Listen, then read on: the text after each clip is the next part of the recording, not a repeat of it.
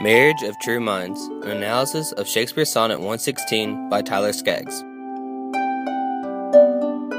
Shakespeare's legacy is riddled with different controversies. Not only do some say he didn't write many of his own works, but he was said to love little boys.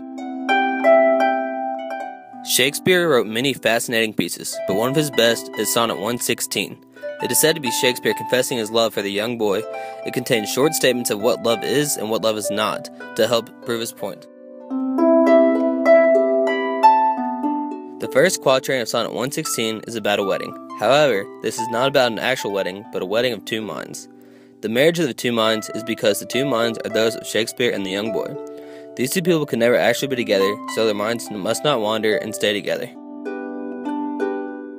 This quatrain says what love is and counteracts the previous quatrain. The second quatrain is about a lighthouse and how it is similar to a relationship. The lighthouse would have been a very important symbol in Shakespeare's time because the sailors would have had no other way of finding the port, especially during a storm. A relationship is like this because, even though there may be fights and differences, if there is true love, they will stay together forever.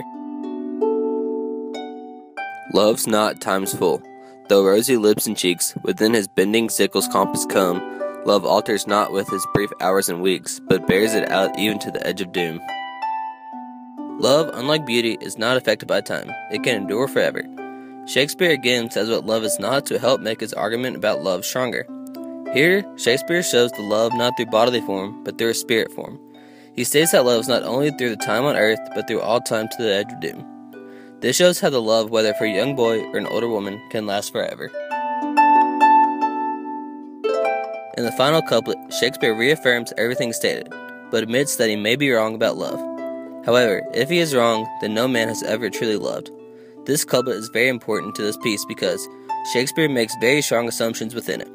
Since he made so many assumptions, he states that if he is wrong, then he will stop writing and admit his fault. But if he is right, then he knows love, and love can endure forever. Shakespeare is a man of many great works, and even though some say he is fake, he is still one of the best playwrights and writers of all time. Sonnet 116 is about his love for a young boy, and he uses many types of writing to show his point. By saying what love is and is not, Shakespeare makes strong points about his love. Love is powerful and can last forever, and Shakespeare proves this.